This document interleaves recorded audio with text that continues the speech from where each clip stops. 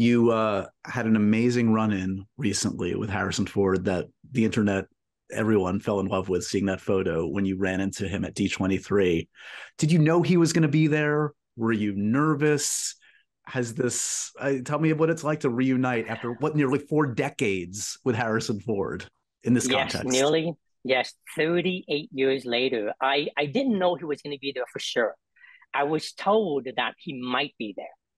So the the entire time I was I was uh, in the green room, and I was just like wondering if he's going to be there.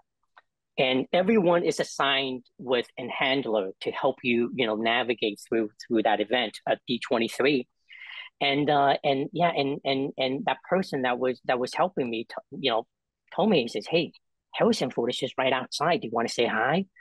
And immediately I, I can feel my my palms sweating, my heart pounding. And I said, of course I want to, but at the same time, I was really nervous. Uh, so when I went out and when I saw him 15 feet away, this all those wonderful memories of, of me being on set with him came came flooding in and uh, and when I hugged him, I think I, I got even a bit emotional because it felt so comfortable uh, that man is amazing. Uh, I you know I learned the word generosity from this man. He was so kind and he was so generous and he was so giving. Uh, if you think I did a really good job as short round in that movie, I give a lot of credit to him because when he was off camera, he was always behind the camera helping Steven to help me get that, you know, give that performance. So uh, it was just wonderful to reunite. I, you know, I missed him all these years, uh, and I, I never, you know, I never had the opportunity uh, to reunite with him until that fateful day. Uh, and and I remember vividly, you know, to now, and it was just wonderful and I know I've heard him speak since. A friend of mine chatted with him recently, uh, and he says he loves the movie and loves your performance in it. And it must be such it's like such a weird like also if you do the math, like you're older now than he was when he made Temple of Doom. And what a full circle, fascinating experience where we're we're at now.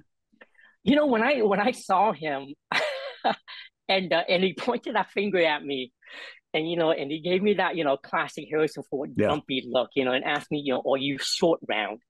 Uh, immediately I felt like a kid again. I, right. I, I, I, immediately I, I was 12 years old again, looking yeah. up to him.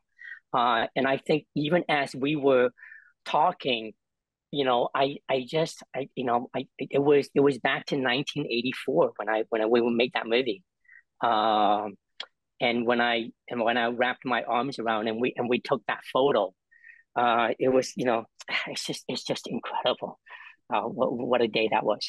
Okay, so this might have sounded like a crazy conversation again a few years ago, but I don't think it's crazy anymore. We have another Indiana Jones movie. Presumably, it sounds like it's the last for Harrison. I mean, he did amazing work.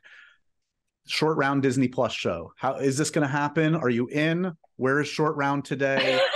Ke. You, okay, Tell me well, what you're first, thinking. First of all, I love the character Short Round.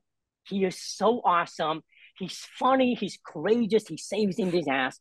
And if Disney or Lucasfilm ever come to me and say, you know, we want to do a short round, you know, uh, spinoff or a television, I'm there, man. I'm there. I'm because I I love I love that character so much. I love that experience so much, and it would just be incredible to to to to revisit that character uh, many years later. Where do you think he is today? Is he still saying "Hold on to your potatoes"? Is he uh, is he an archaeologist? What is he doing?